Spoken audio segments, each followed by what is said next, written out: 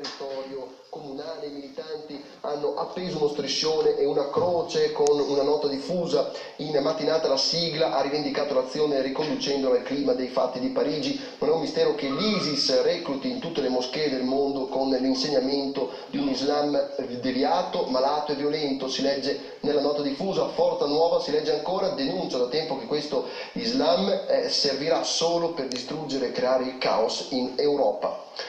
Furto